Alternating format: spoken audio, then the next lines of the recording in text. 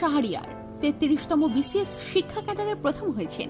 হতেই পারেন, সেটাই স্বাভাবিক, তবে গল্পটি কিন্তু সহজ নয়। এসএসসিতে দুইবার অকৃতকার্য হয়েও হাল ছাড়েননি তিনি।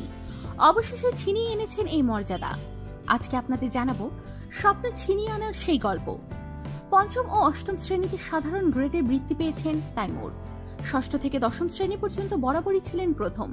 অথচ এসএসসি পরীক্ষায় রসায়ন বিষয়ে অকৃতকার্য হলেন। দু সালে অনাকাঙ্ক্ষিত ফলাফল শুনে ঘাবড়ে যাওয়াই স্বাভাবিক। আত্মীয় স্বজন, শুভাকাঙ্ক্ষীরা হতবাক। তাইমুরের ভাষায় আমার তখনকার অনুভূতিটাও বলে বোঝানো যাবে না। এটা সম্ভব না। তবুও সবার সান্ত্বনা নিয়ে পরবর্তী বছর পরীক্ষা দিলেন তাইমুর কিন্তু প্রথম বছরের মতোই পরিণতি ডেকে এনেছে ভাগ্য। আবারও রসায়নের ফেল জীবনের এমন হতাশার মুহূর্তে তাইমুরের বাবা মোহাম্মদ মোতালেব হাওলা তার নান্নুর কয়েকটি কথাকে পুঁজি করে অপেক্ষা করতে হয়েছিল। তাইমুরের বাবা বলেছিলেন, জলার মতো আগুন থাকলে একদিন তা জ্বলে উঠবেই, দেরিতে হলেও। প্রতিভা থাকলে তা একদিন প্রকাশ পাবেই, তাই ঘাবড়ানোর কিছু নেই। তাইমুর অবশেষে দুই হাজার তিন সালে বরগুনার আমতলি এম ইউ মাধ্যমিক বিদ্যালয় থেকে GPA three point seven five দিয়ে পাশ করলেন।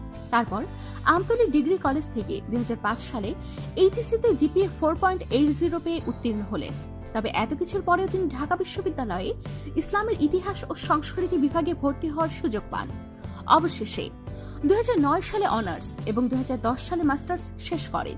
ততদিনে ফলাফল বিপর্যয়ের ঘটনাটি অতীত। এরপর থেকে পুরোদমে চলতে থাকে বিসিএস পরীক্ষার প্রস্তুতি। একত্রিশতম বিসিএস এ অংশ নিয়ে লিখিত পরীক্ষায় টিকলেও পরবর্তী ধাপ অতিক্রম করতে পারেননি। বত্রিশতম বিসিএস পরীক্ষায় অংশ নেওয়ার সুযোগ হয়নি। অবশেষে তেত্রিশতম বিসিএস এ অংশ নেয়া তাইমুরের আত্মবিশ্বাস ছিল আকাশচুম্বী।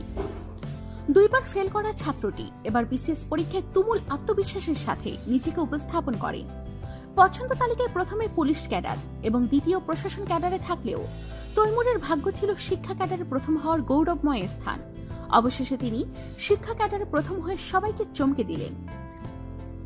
শিক্ষা ক্যাডারে প্রথম হওয়ার পর তাইমুরের প্রথম কর্মস্থল ছিল বরগুনা সরকারি মহিলা কলেজ।